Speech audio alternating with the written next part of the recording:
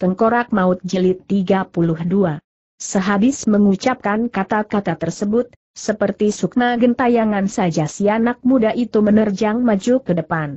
Meskipun pemuda itu bertindak cepat, Nikoh tua itu pun tidak berlambat, baru saja Han Xiong Kie mencoba untuk menerobos lewat dari sisinya, Tahu-tahu Nikoh tua itu sudah menghadang di hadapan mukanya sembari melancarkan tiga buah serangan berantai. Ketiga buah serangan tersebut bukan saja dilancarkan secara beruntun dengan kecepatan yang luar biasa, terasalah desingan angin puyuh yang menyertai serangan itu hebatnya luar biasa. Terkesiap Han Xiong Kie menghadapi serangan sedahsyat itu, dia coba berkelit ke samping untuk menghindar, Lalu dari samping dia lepaskan sebuah serangan balasan. Nikoh tua itu bergerak ke samping, bukan saja dengan gerakan yang enteng ia berhasil menghindari serangan tersebut, malahan menggunakan kesempatan tersebut kelima jari tangan kirinya seperti jepitan baja mencengkeram urat penting di pergelangan tangan Hon Xiong Kie, sementara tangan kanannya dikebutkan ke muka menghajar hiato-hiato penting di sekitar dada bagian luar. Cepat dalam serangan, aneh dalam jurus pukulan, kelihayan Nikoh tua ini jarang ditemui dalam dunia persilatan. Selihai-lihainya Nikoh tua itu, Han Xiong Kie jauh lebih lihai, ia putar telapak tangan kanannya dengan cepat, dari gerakan dia rubah serangannya menjadi gerakan mencengkeram, arah yang diancam adalah pergelangan tangan lawan, sementara telapak tangan kirinya tidak ketinggalan, ia putar satu lingkaran di depan dada dan menutup semua hiato pentingnya dari ancaman. Gagal dengan serangan kilatnya, Nikoh tua itu mundur tiga langkah ke belakang, menyusul sebuah pukulan kilat kembali dilancarkan. Han Xiong Kie tak mau unjukkan kelemahannya, dia lepaskan pula sebuah pukulan untuk menyambut ancaman itu. Belaang benturan keras tak dapat dihindari lagi, masing-masing pihak terjengkang mundur satu langkah. Dalam hati Han Xiong Kie merasa terperanjat, ia tak mengira kalau Nikoh tua itu sanggup menerima pukulan saktinya yang disertai dengan tenaga sebesar enam bagian. Ia kaget Nikoh tua itu lebih kaget sebab dalam serangannya barusan dia telah mengerahkan tenaga sebesar sepuluh bagian, tapi nyatanya bukan saja tak berhasil merobohkan lawan, dia sendiri yang terdesak mundur satu langkah. Untuk sesaat kedua belah pihak sama-sama tertegun, mereka sama-sama menyadari bahwa musuh yang sedang dihadapi adalah musuh tangguh yang belum pernah dijumpai sebelumnya. Paras muka Nikoh tua itu berubah hebat, jubah pendetanya yang lebar menggelembung sendiri tanpa terhembus angin, sinar matanya berkilat dan perlahan-lahan telapak tangannya diangkat ke atas. Meskipun Han Xiong Kie terperanjat dan tidak mengerti ilmu aneh apakah yang sedang dikerahkan musuhnya namun si anak muda itu tak berani bertindak gegabah, dia pun menghimpun hawa sakti si misinkangnya sebesar delapan bagian, telapak tangannya dialingkan di depan dada, siap menghadapi segala kemungkinan yang tak diinginkan. Sementara itu Nikoh tua tadi telah mengangkat telapak tangannya sejajar dada, kemudian didorongkan ke muka perlahan-lahan, segulungan angin pukulan yang maha dahsyat segera meluncur ke depan dan menyapu benda apa saja yang dilewatinya. Han Xiong Kie memandang pukulan itu dengan serius, sepasang telapak tangannya balas didorong ke muka dan menyambut ancaman tersebut dengan tenaga simi sinkang sebesar delapan bagian. Blaang ledakan keras menggelegar di angkasa, di antara suara nyaring terdengar dengus tertahan menggema di udara, dengan sempoyongan Nikoh tua itu mundur lima langkah, paras mukanya pucat pias, napasnya ngos-ngosan seperti kebau, peluh sebesar kacang kedelai mengucur keluar tiada hentinya. Han Xiong Kiai sendiri pun merasakan hatinya bergoncang keras, dia terdorong mundur satu langkah lebar. Setelah berhenti sebentar Nikoh tua itu menggigit bibir, tiba-tiba ia menerjang lagi ke depan, sepasang telapak tangannya dengan desingan tajam disapu kembali keluar. Sapuan tersebut tampaknya saja sangat lambat pada hakikatnya cepat melebihi kilat bahkan sudut sasarannya jauh dari keadaan biasa bukan saja disertai hawa pukulan yang Aneh bahkan membuat orang tak mampu untuk menangkis datangnya ancaman itu Hon Xiong Kiai seketika terdesak hebat, dia mundur terus berulang kali tanpa mampu membalas.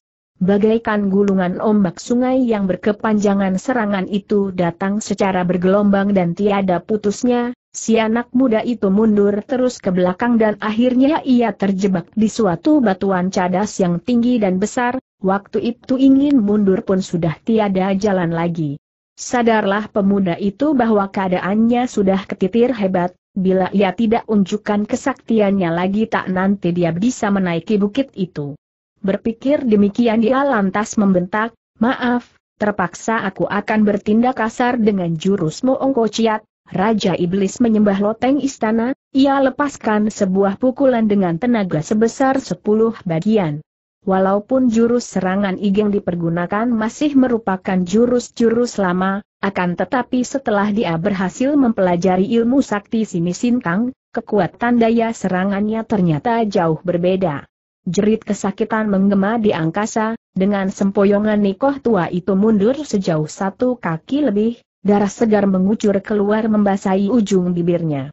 Hans Yong Kie tertegun, dia tak menyangka kelihayannya sudah mencapai tingkatan setinggi itu, semua dalam keadaan begini tak sempat lagi baginya untuk berpikir lebih jauh, serentak tubuhnya berkelebat dan menerjang ke atas puncak bukit. Selang sesaat kemudian ia sudah mencapai seratus kaki sebelum puncak bukit, beberapa batang pohon siong muncul di depan mata, dan di balik pepohonan itu tampaklah sebuah bangunan kuil yang terbuat dari batu cadas gunung. Han, Siong Kie merasa semangatnya berkobar, ia percepat gerakan larinya. Mendadak sesosok bayangan abu-abu muncul dari balik pepohonan dan langsung menerkam ke depan, Sebelum tiba angin pukulan yang tajam sudah keburu menyapu lebih duluan sungguh terkejut si anak muda itu, ia tahu tenaga dalam yang dimiliki pendatang ini jauh lebih hebat daripada dua orang nikoh yang telah dijumpai, cepat tubuhnya menukik dan membentuk sebuah gerakan setengah pusur di udara kemudian melayang turun ke muka bumi. Bayangan abu-abu itu pun melayang turun ternyata dia adalah seorang nikoh berlengan tunggal. Sebelum Hon Xiong Kiai sempat buka suara, Nikoh berlengan satu itu sudah menegur lebih dahulu, Si Chu, engkau anggap kepandaian silatmu sudah hebat maka secara beruntun kau lukai dua orang seperguruanku dan kemudian datang mengacau bukit Tai Wong San ini aku tidak bermaksud main kasar, aku memohon dengan sopan dan menuruti tata cara yang selayaknya akan tetapi merekalah yang memaksa aku untuk menggunakan kekerasan maka janganlah kau salahkan jika terpaksa kulukai pula kedua orang rekan seperguruanmu itu HMM. Selama 60 tahun belum pernah ada orang asing yang berani menginjakan kakinya di Bukit Tai Wong San ini aku datang kemari karena mendapat titipan dari seseorang. Aku datang untuk mencari orang, lain. Daripada itu aku tiada maksud apa-apa apalagi berbuat keonaran. Aku tak ambil peduli apa maksud kedatanganmu. Pokoknya kehadiranmu di sini sudah merupakan suatu pelanggaran pantangan atas peraturan dari kuil kami ini. Hehehe tolong tanya apa yang hendak Sutai lakukan terbadap diriku ejek Hans Yong Kiai sambil tertawa dingin.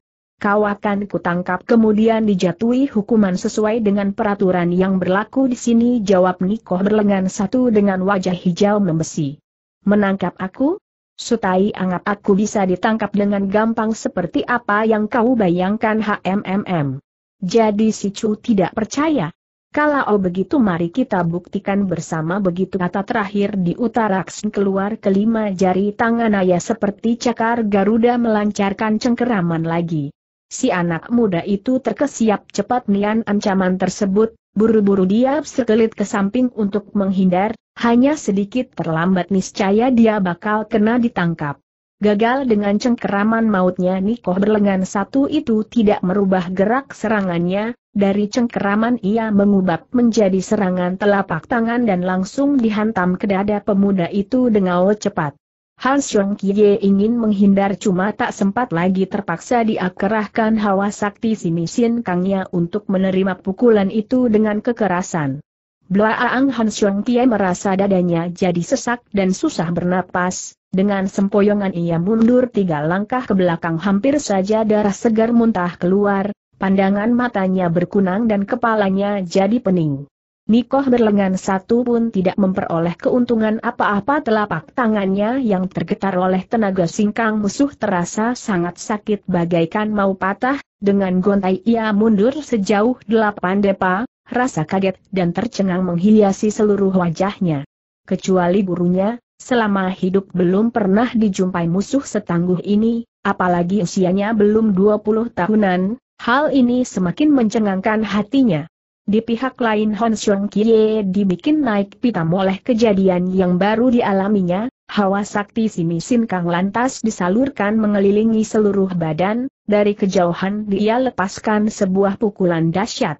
Nikoh berlengan tunggal itu terkesiap cepat-cepat tangannya berputar membentuk satu lingkaran kilat, Gerakan itu sama sekali tidak menimbulkan suara sedikit pun Han Xiong Kie terperanjat ia merasa bahwa tenaga pukulan yang dilancarkan dengan kekuatan sebesar delapan bagian itu mendadak punah sama sekali hingga lenyap tak berbekas. Ia menggigit bibir, sepasang telapak tangannya sekali lagi meluncurkan serangan dengan mengerahkan tenaga sebesar sepuluh bagian, kali ini terlihatlah pancaran cahaya aneh dari raut wajahnya.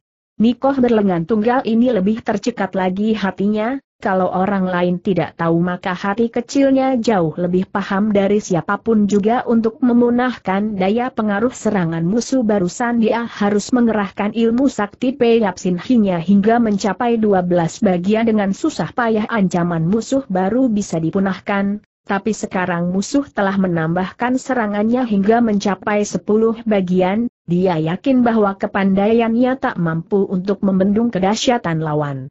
Tampaknya Nikoh berlengan tunggal itu bakal mati konyol. Di saat yang kritis tiba-tiba terdengar seseorang berseru nyaring dari tempat kejauhan.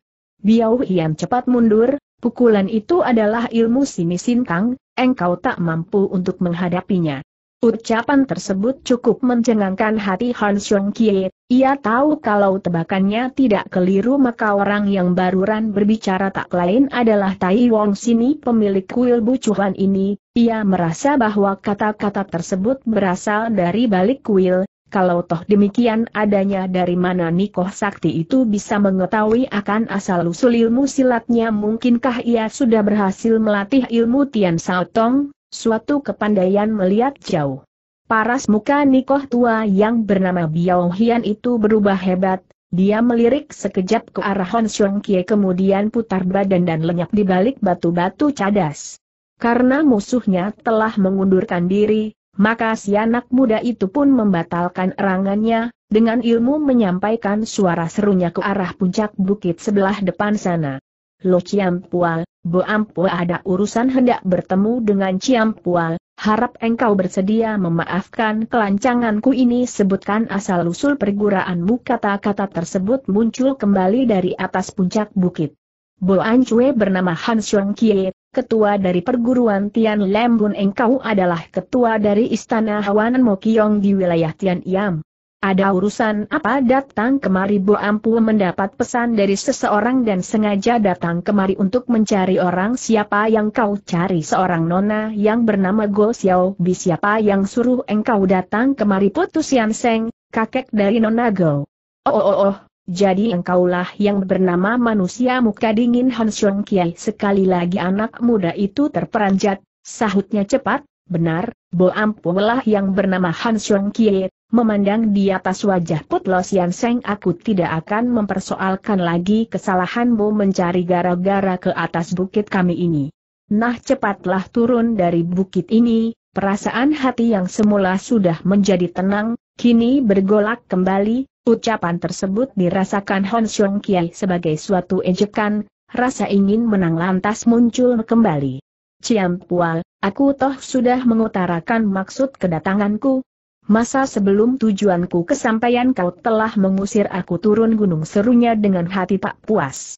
Aku perintahkan kepadamu untuk segera turun dari bukit ini tiba-tiba suara dari Tai Wong sini berubah jadi amat dingin dan ketus, bahkan ucapan tersebut diutarakan sepatah demi sepatah kata.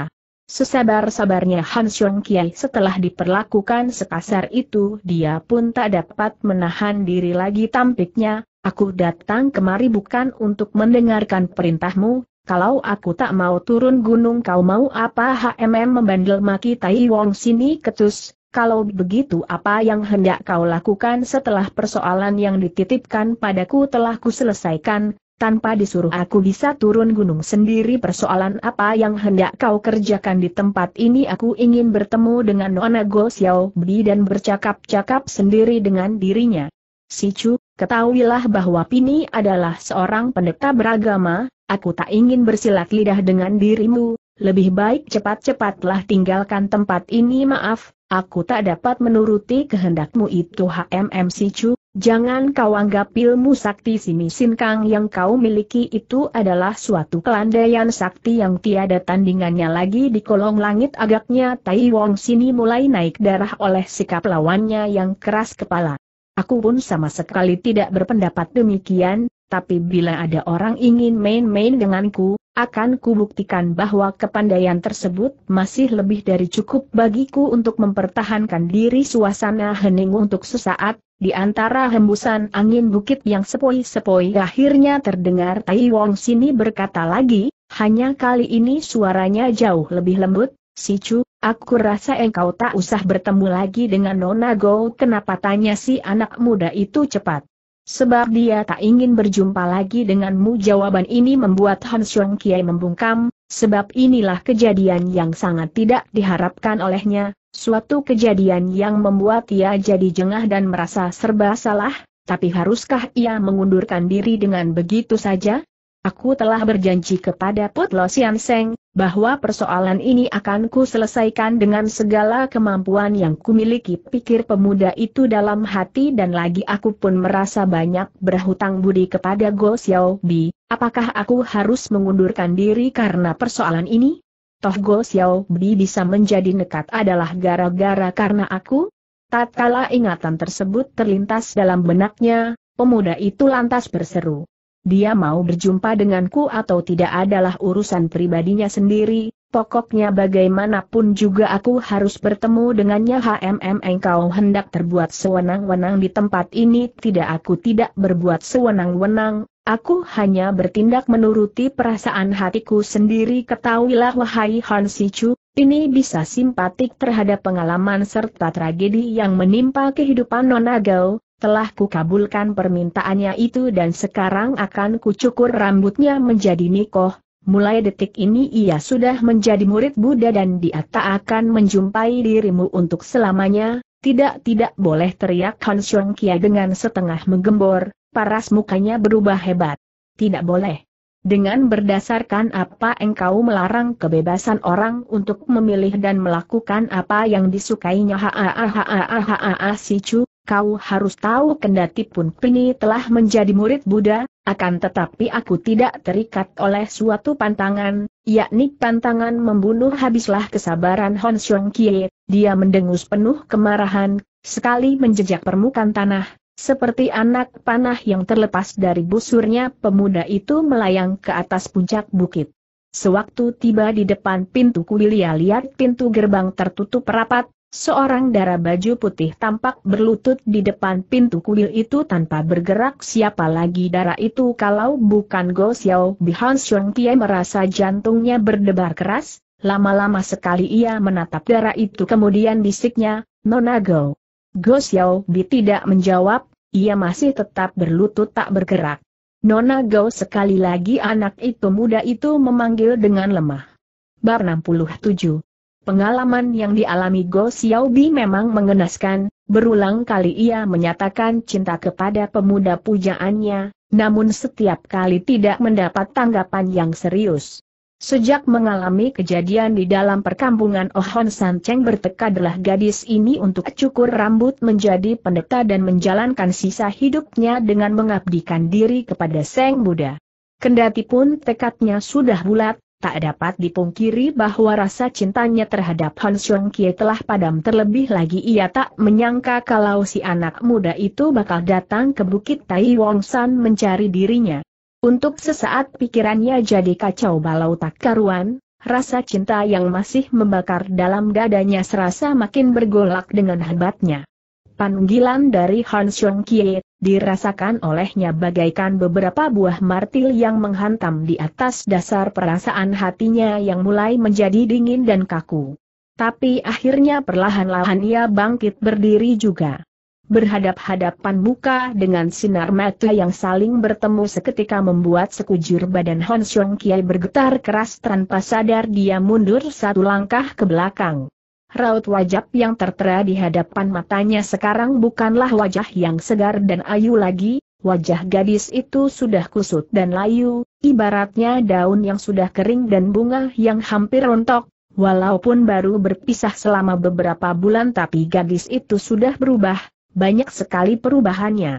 Dari wajahnya yang kusut dan layu itu tidak nampak kesegarannya lagi, tidak tercermin kembali bahwa darah Ita masih remaja dan muda, Biji matanya yang dulu bening sekarang diliputi kehampaan dan kepedihan dengan tatapan agak kaku ia mengawasi kekasih hatinya yang membuat ia jadi putus asa dan tak bergairah lagi untuk hidup. Dengan sedih Hon Xiong Kiai berkata, Nona Go ada beberapa persoalan ingin sekali kubicarakan dengan dirimu sekilas cahaya terang sempat menghiasi wajah Go Xiao yang layu meski sedetik kemudian telah lenyap lagi tanpa bekas. Mungkinkah ia telah berubah pikiran dan sekarang mulai mencintai diriku demikian pikirnya di hati. Tapi sejenak kemudian dengan sedih ia membantah kembali jalan pikirannya itu ia bertanya dengan suara yang pedih, Hans Yang Kong mau apa engkau datang kemari aku aku ingin bercakap-cakap dengan nona sahut pemuda itu tergagap hanya ingin berbicara saja, apa yang benda kau bicarakan dengan diriku? Aku minta nona bersedia untuk membatalkan niatmu untuk cukur rambut menjadi pendeta kenapa? Tertegun Han Xiong Kie menghadapi pertanyaan tersebut untuk sesaat ya jadi gelagapan dan tak tahu apa yang mesti dijawab. Tapi untunglah satu ingatan cepat melintas dalam benaknya dengan serius pemuda itu menjawab, kakek Nona Putlo Sian Seng muncul kembali dari pengasingannya karena ayahmu mati terbunuh maka sengaja beliau melatih Nona agar Nona bisa membangun kembali perkumpulan Pet Gipang yang tercerai berai itu hebat sekali. Perubahan wajah Go Xiao Bi setelah mengetahui bahwa maksud kedatangan pemuda itu bukan lantaran dia, katanya, Oh jadi kau datang kemari hanya untuk menyampaikan pesan dari kakekku Hon Xiong Kiai semakin kikuk ia tertawa jengah dan menyaut. Nona Go bila engkau bersikeras untuk masuk jadi pendeta bukan saja kakekmu akan merasa kecewa dan bersedih hati bahkan sukma ayahmu di alam baka pun tak akan menyetujui tindakan dari Nona sekali lagi Go Xiao Bi menukas ucapan lawannya yang belum selesai ia berkata. Han Shook Ye engkau datang kemari hanya untuk mengucapkan beberapa patah kata itu tentang soal ini, katakan saja ya atau bukan selain daripada itu aku pun ingin menyampaikan rasa sesalku terhadap Nona. Masih ada perkataan lain yang hendak kau ucapkan Hon Xiong Kiai jadi gelagapan, ia tak tahu apa yang mesti dibicarakan pada saat ini. Go Xiao bimakin ketus sikapnya, nada perkataannya lebih dingin daripada Asia berkata, Han Xiong Kiai sekarang juga kau boleh pergi tinggalkan tempat ini tapi Nona, kau ketahuilah Hon Siang Kong, tiap manusia mempunyai tujuan dan cita-citanya sendiri, tak usah kau paksa diriku untuk menuruti kehendak hatimu itu serba salah jadinya keadaan Hon Xiong Kie waktu itu dia tak tahu bagaimana mesti mengatasi keadaan yang serba riku ini. Keraat pintu kuil yang semula tertutup rapat, perlahan-lahan terpentang lebar, dari bilik pintu muncullah seorang nikoh tua yang berwajah merah setajam semilu sorot matanya nikoh itu agung tampaknya dan sangat berwibawa. Sementara Go Xiao Bi sendiri telah putar badan serta berlutut kembali ke atas tanah. Menyaksikan kemunculan nikoh tua itu Hon Xiong Kiai segera maju dia memberi hormat tegurnya, apakah Lo Chiampo adalah pemilik kuil ini? Tiada jawaban kecuali dengusan dingin, dengusan tersebut amat ketus dan tak sedap didengar sekuat tenaga Han Xiong Kiai berusaha untuk mengendalikan perasaan sendiri, ia bertanya, Sudahkah Lo Ciampu menyanggupi permintaannya untuk mencukur rambutnya menjadi pendeta? Sudah kenapa aku rasa dengan kedudukan Ciampu yang agung dan dihormati orang, tentunya engkau tak akan mengingkari janji sendiri bukan? Apa maksudmu dengan perkataan itu tegur Tai Wong sini dengan wajah berubah? Bukankah Lo Chiampu telah menyanggupi permintaan Put Lo Sian Seng untuk menolak permintaan Nona Go menjadi pendeta ketika ucapan tersebut diutarakan keluar tanpa bisa dicegah lagi Go Xiao Bi berpaling serta melotot sekejap ke arah si anak muda itu.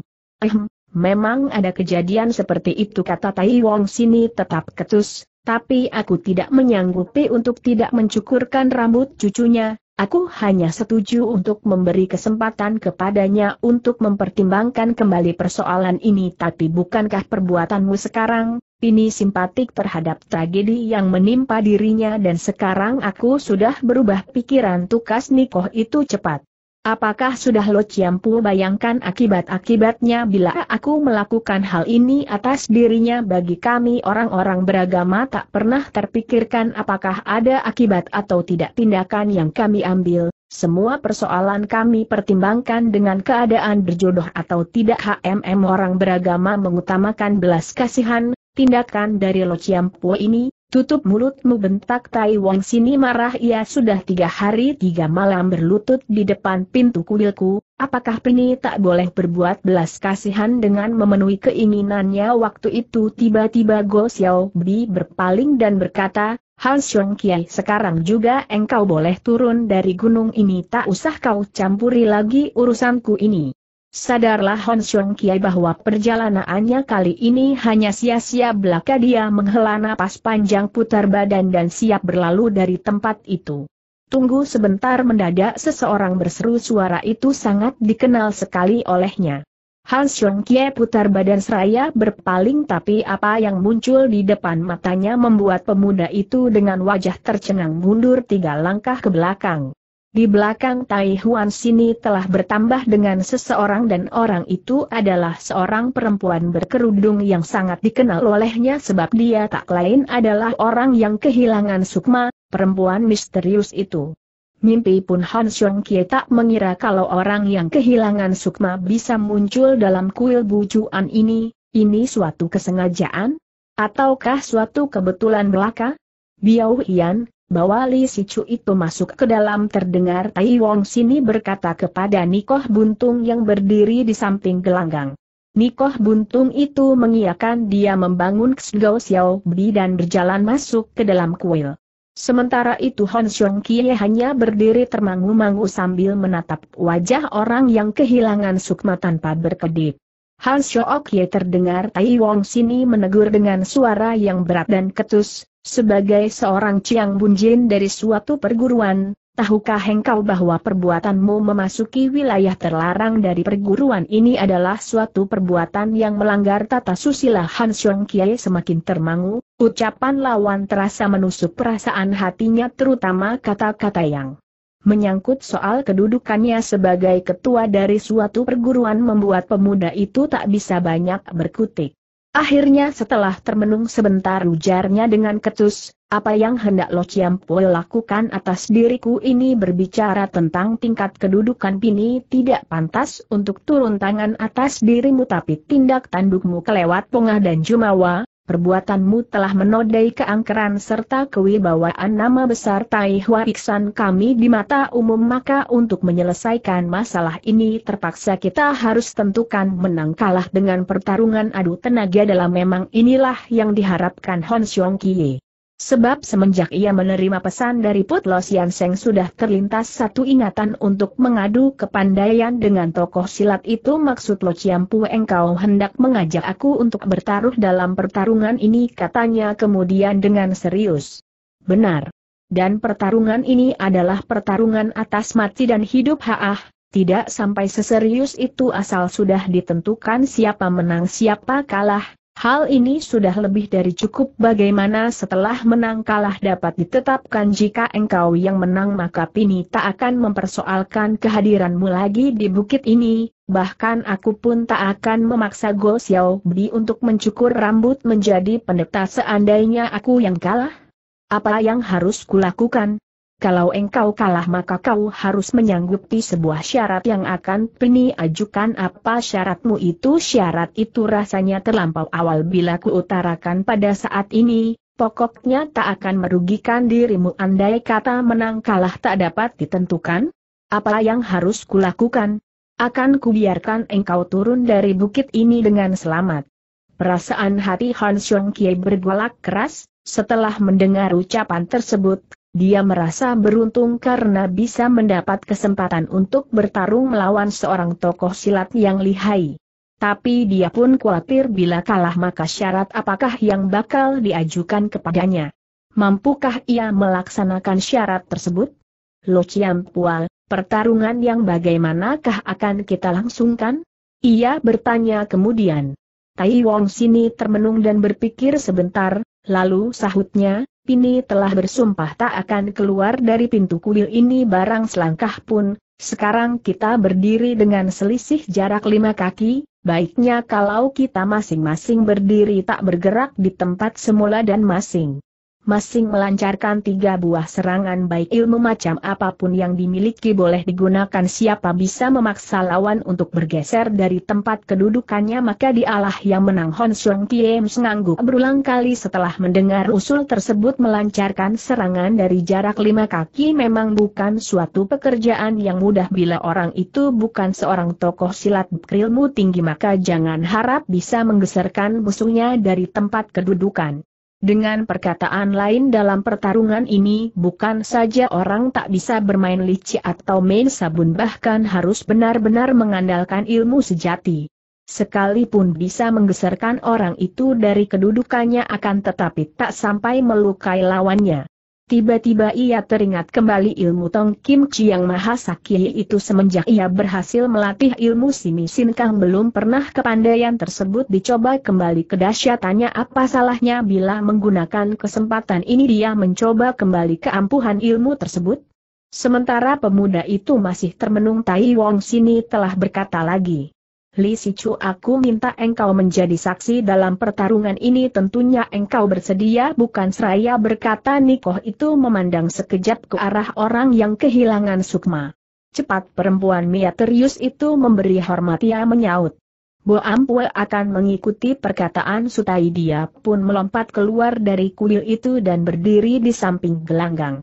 Dalam waktu singkat suasana gelanggang diliputi ketegangan dan keseriusan semua orang menahan napas dan menantikan berlangsungnya pertarungan itu dengan hati berdebar. Seorang pemuka silat yang sudah tersohor namanya semenjak 60 tahun berselang akan bertarung melawan seorang pemuda belasan tahun yang memiliki ilmu tinggi, Pertarungan semacam ini boleh dibilang merupakan suatu peristiwa yang langka dan jarang ditemui di kolong langit tak heran kalau peristiwa tersebut menggetarkan hati setiap orang yang hadir di situ. Han Hiap silahkan engkau melancarkan serangan lebih dahulu suatu ketika Tai Wong sini berkata dengan wajah serius. Tidak lebih baik Lo Chiam Po yang turun tangan lebih dahulu kata Han Xiong Kia dengan hati bergetar.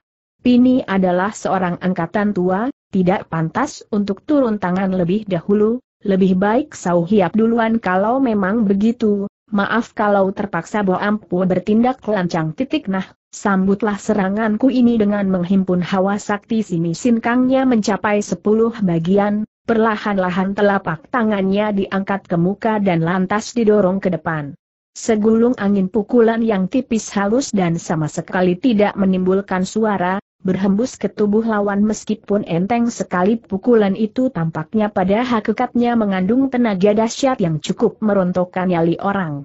Di saat Han Xiong Kie melancarkan serangan Tai Wong sini sendiri pun memutar tiga kali sepasang telapak tangannya di depan dada suatu getaran keras menyusul terjadinya ledakan yang memekikan telinga Tai Wong sini hanya tergetar sedikit tubuhnya, sementara kuda-kudanya masih kelihatan kokoh sekali. Pukulan Simi Kang sebesar sepuluh bagian ternyata berhasil dipunahkan oleh Nikoh tua itu dengan enteng, sedikit banyak tercekat juga hati Han Xiong Kie, diam-diam ia menjulurkan lidahnya.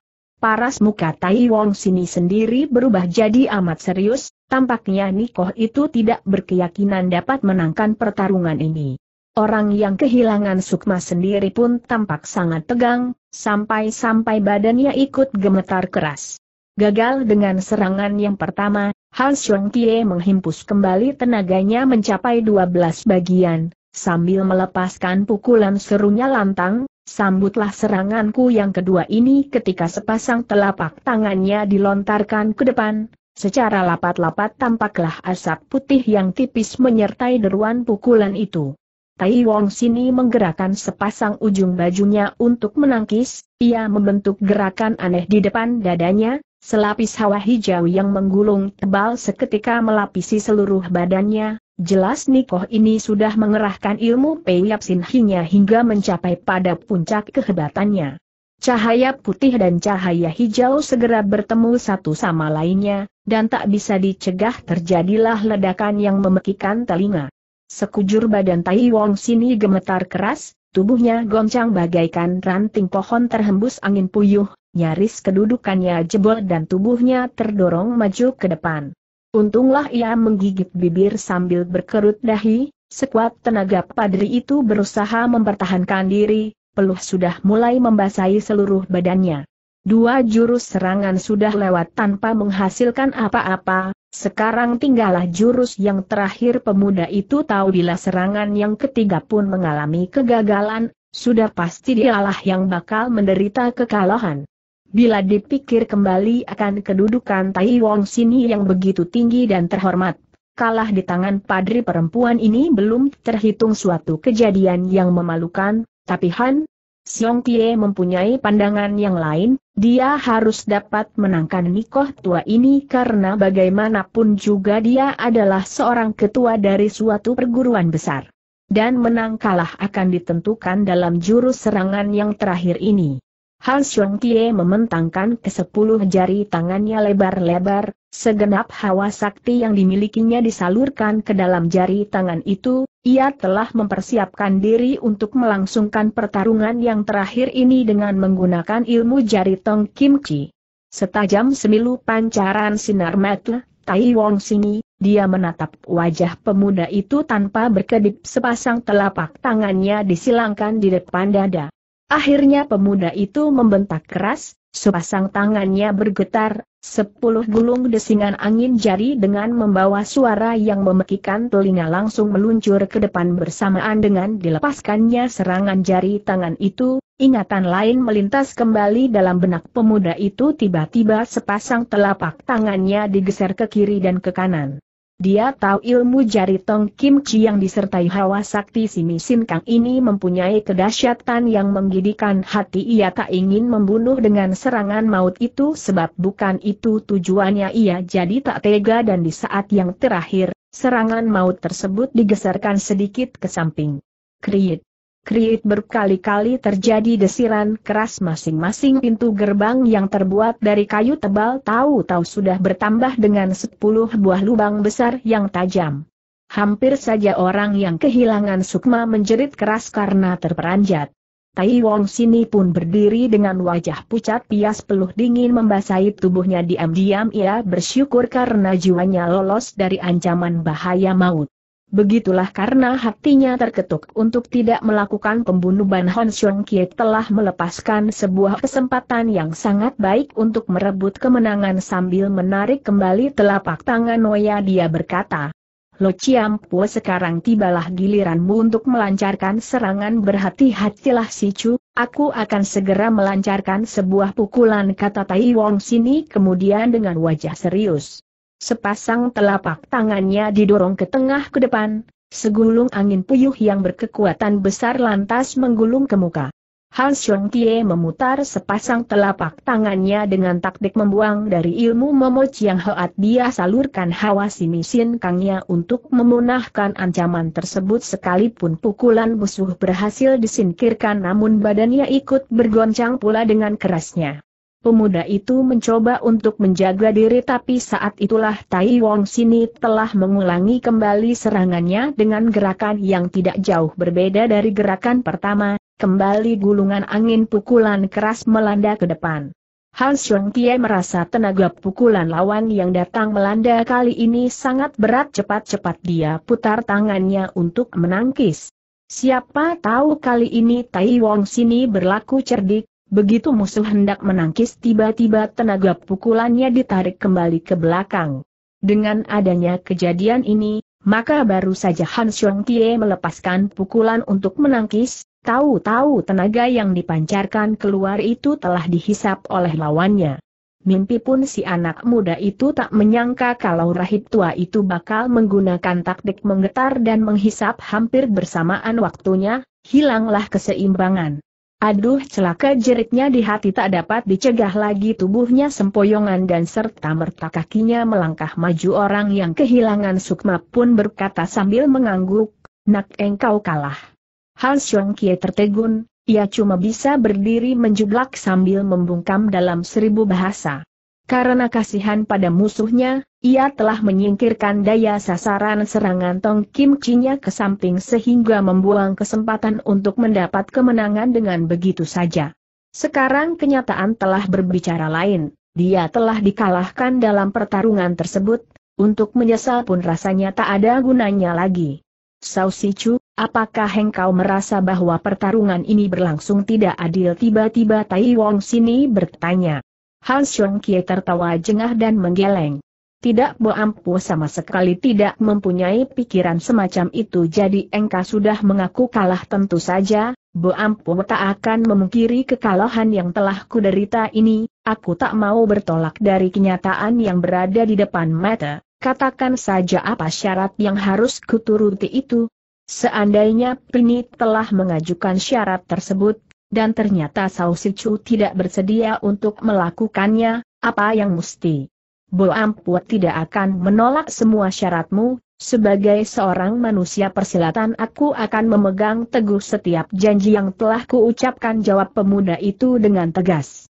Orang yang kehilangan sukma tiba-tiba menimbrung pula, atas petunjuk dari Lo Chiampu Bo Ampu telah ditunjuk sebagai saksi maka setelah pertarungan berakhir dan menang kalah pun telah ditentukan, Bo Ampu harap Lo Chiampu segera mengajukan syarat yang hendak Chiampu ajukan sehingga pertaruhan ini pun bisa kita akhiri. Sampai di sini saja titik sepasang mata, Tai Wong sini memancarkan sinar tajam, ia memandang sekejap ke arah Hon Xiong Kie lalu katanya, Gampang dan sederhana sekali syaratku ini, aku cuma minta engkau segera menikah dengan Go Xiao Bi dan menjadi suami istri yang berbahagia hebat sekali perubahan wajah Hon Xiong Kie, tanpa sadar secara beruntun ia mundur lima langkah ke belakang. Mimpi pun ia tak menyangka kalau syarat yang diajukan Tai Wong sini adalah mengenai persoalan itu. Pertama kali ketika ia selamatkan Gao Xiao Bi dari tangan pengawal pribadi Istana Hawanan Mokyong dan menginap sebuah rumah penginapan, orang yang kehilangan sukma telah menyaru sebagai tukang obat dengan maksud menjodohkannya dengan gadis itu, kedua kalinya putus Yan Seng ajukan pinangan bagi cucu perempuannya. Ternyata pinangan itu pun atas usul dari orang yang kehilangan sukma. Sekarang adalah untuk ketiga kalinya peristiwa itu terjadi, temialah orang yang kehilangan sukmalah sebagai saksinya.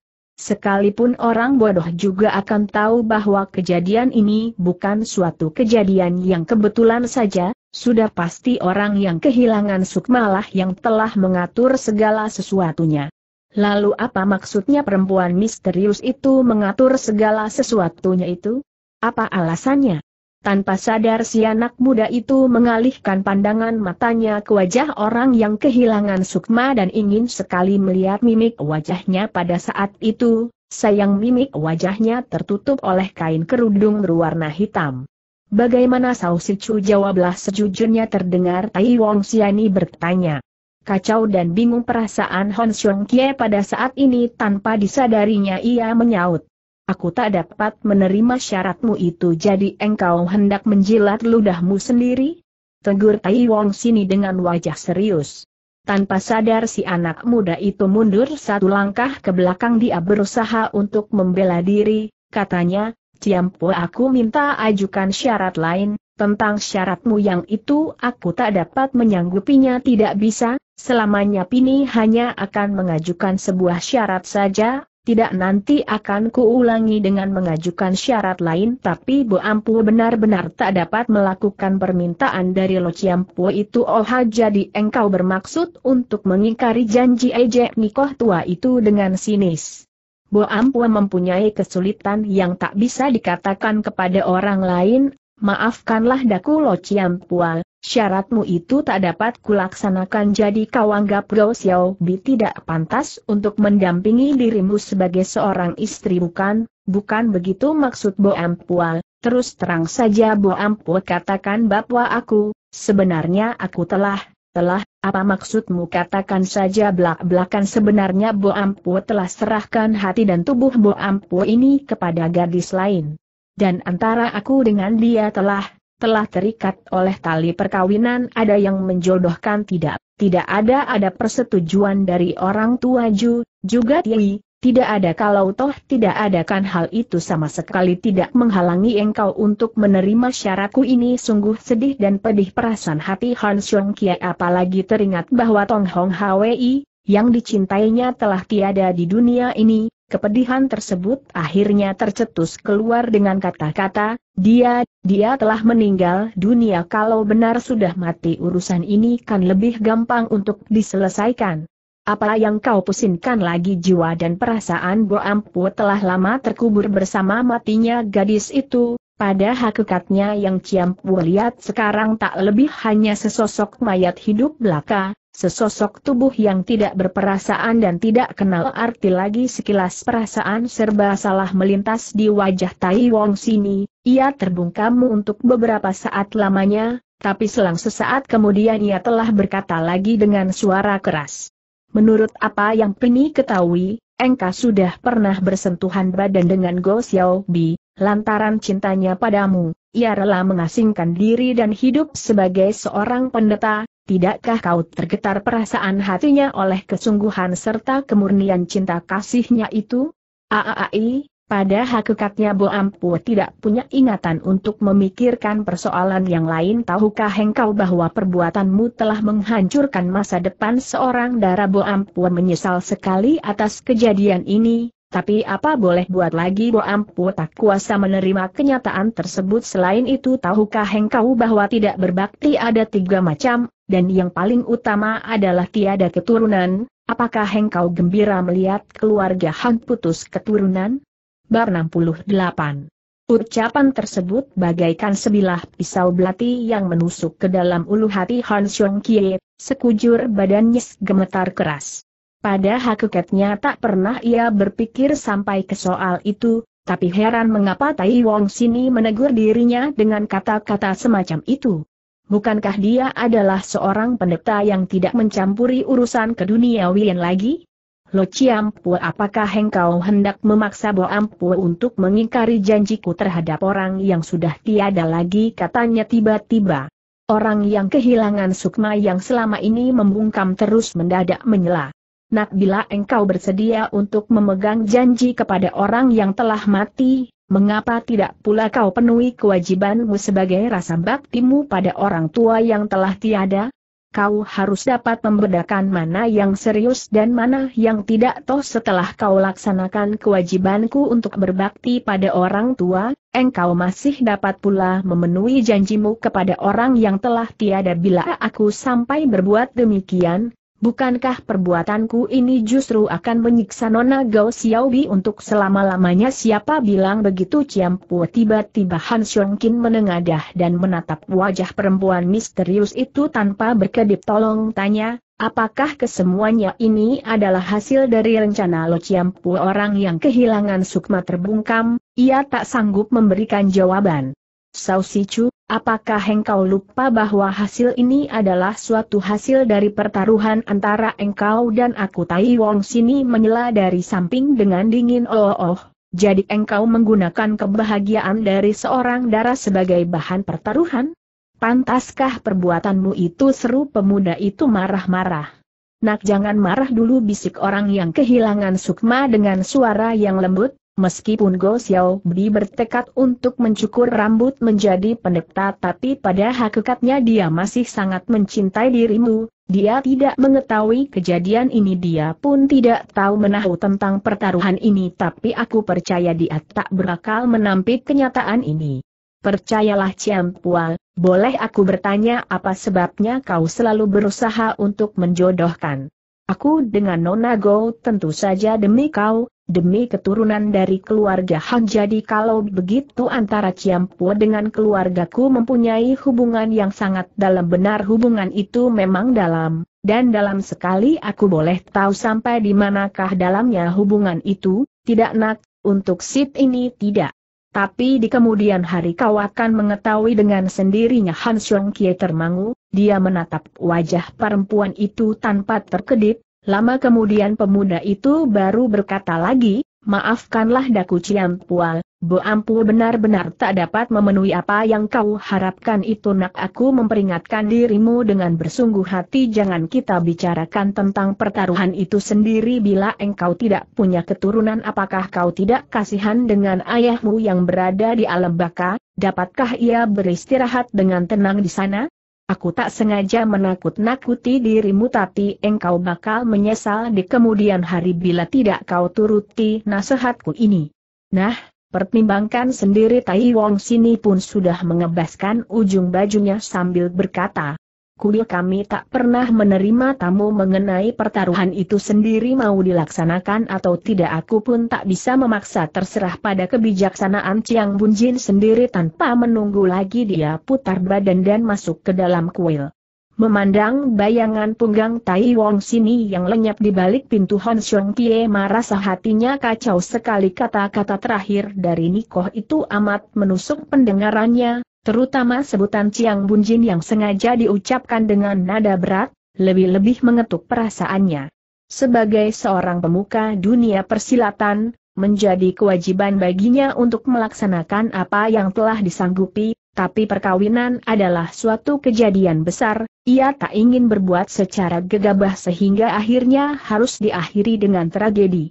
Sementara pemuda itu masih termangu-mangu, orang yang kehilangan sukma telah berkata lagi, nak, tegakkah engkau membiarkan masa depan seorang darah hancur di tanganmu sakit hati, bingung dan sedih bercampur aduk dalam perasaan hati si anak muda itu, dia tak tahu apa yang harus dilakukan pada saat ini, terutama kata-kata tentang ketidakbaktian sebagai seorang putra di antara tiga hal yang tidak berbakti, tak punya keturunan adalah tidak berbakti yang paling utama. Benarkah dia tak akan menikah dan membiarkan orang menganggapnya sebagai manusia yang tidak berbakti? Sekarang ia baru menyesal, menyesal apa sebabnya tidak menggunakan ilmu jari Tong Kim Chi untuk mengalahkan musuhnya, ia tidak tega rahib itu terluka, tapi akhirnya dia sendirilah yang rugi. Sebagai seorang laki-laki sejati, tidak nanti tidak akan mengingkari janji. Kata-kata itu diucapkan sendiri olehnya, benarkah dia harus mengingkari janji? Sekalipun dia sadar bahwa ia terjebak oleh suatu siasat yang disusun sangat rapi, toh dia kalah adalah suatu kenyataan yang tak dapat dibantah lagi. Sementara itu orang yang kehilangan sukma tidak menyia-nyiakan kesempatan itu, dia mendesak lebih lanjut.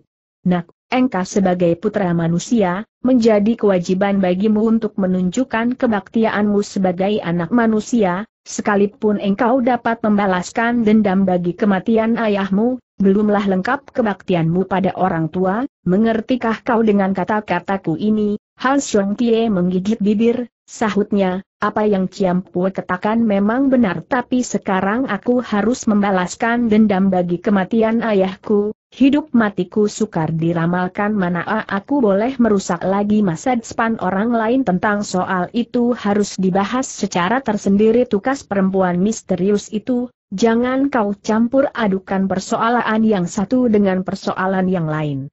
Gemas dan mendongkol sekali Han Xiong Kiai setelah mendengar ucapan itu akan tetapi ia tak sempat mengumbar hawa marahnya sebab setinggi langit budi yang pernah diterimanya dari perempuan ini. Orang yang kehilangan sukma pernah menjamin kepada ayah bahwa Tong Hong Hui tidak bakal mati tapi apa sebabnya ia selalu menghalang-halangi hubungannya dengan gadis itu? Mengapa ia bertindak begitu misterius? Siapakah dia? Apa hubungannya dengan keluargaku? Pelbagai ingatan selalu berkecamuk dalam benaknya membuat pemuda itu merasa kepalanya mau meledak. Ciampua mengapa engkau selalu berbuat demikian kepadaku? Katakanlah apa sebabnya apa sebabnya tentu saja demi kebaikanmu demi kebaikanku. Kebaikan apa? Terangkanlah.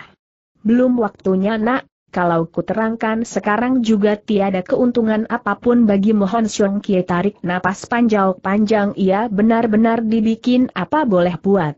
Aai agaknya bila tidak ku sanggupi persoalan itu hari ini tak mungkin aku bisa pergi dari sini dengan tenang katanya.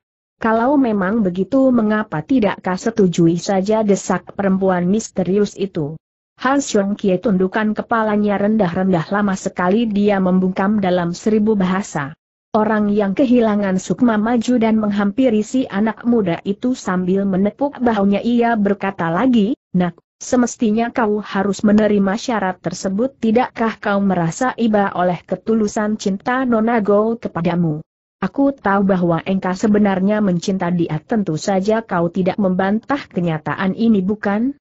Tapi karena soal Tong Hong Hui engkau tak berani mencintainya aku tahu engkau tak ingin mencabangkan perasaan cintamu kepada orang lain dan kuakui bahwa tindakan semacam ini memang benar. Tapi engkau lupa bahwa antara engkau dengan Tong Hong Hui sebenarnya tak mungkin bisa dijadikan satu sebab bila engkau keras kepala dan melanjutkan hubungan itu maka hubungan kalian ini akan berakhir dengan tragedi, Benar-benar tragedi yang mengenaskan bukan untuk yang pertama kalinya Han Xiong Kie mendengar ucapan semacam itu akan tetapi ia tak dapat mengendalikan perasaan sendiri sekujur badannya gemetar keras menahan emosi.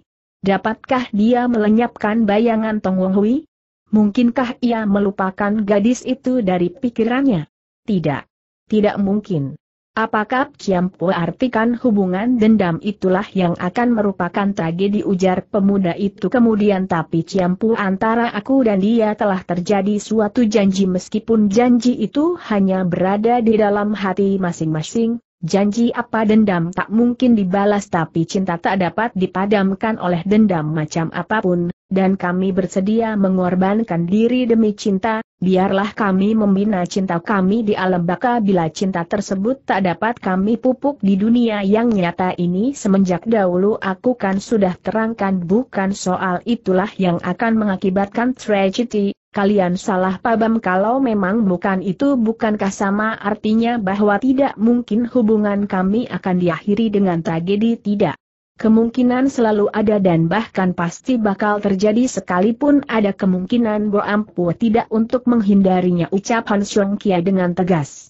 Mendengar perkataan itu orang yang kehilangan sukma membelah napas sedih ia berkata, Aaai terserah apa yang hendak kau katakan, Aku hanya minta agar engkau memberi pertanggungan jawab kepadaku kepada Go Xiao Bi kepada Sini Lo Chiampu kepada mendiang ayahmu dan pada gurumu sekujur badan Hon Xiong Kiai gemetar keras mimik. Wajahnya berkerut menahan penderitaan batin serunya dengan lantang, sekalipun aku kawin dengan Go Xiao Bi mungkinkah perkawinan ini bisa berakhir dengan kebahagiaan, akhirnya toh kita akan mengalami tragedi yang menyedihkan? Bahagia atau sedih adalah urusan belakang, siapa tahu kalau kenyataannya jauh berbeda dengan apa yang saat ini kau bayangkan jadi maksud Ciampual, kau memaksa Bo Ampu untuk mengabulkan permintaanmu itu. Yaa, anggaplah perkataan ini merupakan suatu paksaan sahut orang yang kehilangan sukma dengan suara berat. Han Xiong Kie tertegun dan tidak bicara, selang sesaat kemudian ia mengangguk. Baik. Bo Ampul menyanggupi permintaanmu itu jadi kau menerima syarat tersebut benar, aku menerimanya, tapi aku pun mempunyai sebuah syarat. Apa syaratmu itu? Ciampul harus menjelaskan kepada Nona Gao Xiao beserta kakeknya, bila dendam berdarah berhasil Bo Ampul balas, Waktu itulah kita baru bicarakan kembali soal cinta dan tiga tahun setelah menikah Bu Ampu akan meninggalkan keluarga dan pergi jauh setelah tiga tahun, apakah engkau akan bunuh diri untuk menunjukkan ketetapan hatimu pada Tong Hong Hui kata orang yang kehilangan sukma sampai mundur selangkah. Benar, kenapa? Andai kata Tong Hong Hui belum meninggal dunia ah, ah, ah. hal ini aku rasa tidak mungkin baik, ku kabulkan syaratmu itu dan kita pun tentukan perjanjian ini dengan kata-katamu ini berbicara sampai di sini, tiba-tiba orang yang kehilangan sukma berpaling, serunya ke arah batu karang kurang lebih. Beberapa kaki di depan sana, Lo Pual, silahkan mengunjukkan diri untuk memperkuat ikatan perkawinan ini seorang sastrawan berusia setengah baya perlahan-lahan munculkan diri dari balik batuan cadas. Dia bukan lain adalah kakek Gao Xiao Biput Lo Sian Seng yang disegani banyak orang itu. Hans Xiong Kie tertegun, kemunculan tokoh silat ini semakin memperkuat dugaannya bahwa apa yang terjadi pada saat ini adalah suatu siasat, suatu rencana besar dari orang yang kehilangan sukma. Tapi yang mengherankan adalah Put Lo Sian Seng dan Tai Wong Sini kedua orang tokoh silat ini berilmu tinggi dan berkedudukan terhormat. Tapi mereka bersedia untuk mendengarkan kata-kata orang yang kehilangan sukma malahan bekerja sama untuk memancingnya masuk jebakan, apa tujuan mereka? Sementara itu Put Sian Seng telah berkata sambil tertawa ringan ucapnya, bocah bagus, Kemurunganku sudah dilenyapkan, mulai sekarang lohu bisa mengasingkan diri dan beristirahat dengan tenang. Orang yang kehilangan sukma segera mendorong Hon Xiong Kie untuk maju katanya, bagaimana juga penghormatan tak bisa dilakukan, hayo maju dan memberilah hormat kepada kakekmu, dalam hati Hon Xiong Kie menghela napas panjang, dengan kaku dan maju beberapa langkah dan jatuh berlutut di hadapan Put Lo Sian Seng, Ketika ia menyembah sebanyak tiga kali ia tak dapat melukiskan bagaimanakah perasaan hatinya ketika itu, entah manis getir, kikuk atau kecewa. Cepat Put Lo Sian Seng ulapkan tangannya seraya berkata. Cukup, cukup bangunlah nak, sebelum aku pergi mengasingkan diri, ada beberapa patah kata terlebih dahulu hendak kukatakan kepadamu. Ketahuilah gurumu Mo Tiong Chimo adalah sahabat lamaku, setelah engkau mewariskan kedudukannya aku harap engkau bisa membangun kembali perguruan Tian Lem bila melakukan segala persoalan janganlah terlalu memikirkan masalah itu dengan pikiran yang sempit. Sekujur badan anak muda itu bergetar keras, peluh dingin membasahi tubuhnya tanpa terasa ia teringat kembali akan apa yang diberitahukan orang yang kehilangan sukma ketika berada di mulut lembah kematian. Dikatakan T.E. Kun perguruan Tian Lem yang sekarang yaitu Wiet Beng telah menjual perguruannya kepada Tian Cekau, Istana Hawanan Mokyong telah diubah menjadi kantor cabang Tian Cekau sektor Tian Lem. Itu berarti sekarang ia berhadapan dengan tugas baru, tugas yang amat berat yaitu membersihkan anasir-anasir yang tidak benar dari tubuh perguruannya. Tanpa terasa dia teringat pula akan Oke Kui Pei tanda kebesaran Tian Lembun yang telah terjatuh ke tangan orang-orang Tian Cekau, bila benda tersebut tidak berhasil ditarik kembali bukan saja dia tak akan mendapat kepercayaan dari anak muridnya selain itu dia pun merasa malu terhadap sukma gurunya di alam baka. Bo Ampue akan mengingatnya selalu, sahut pemuda itu dengan hati bergidik.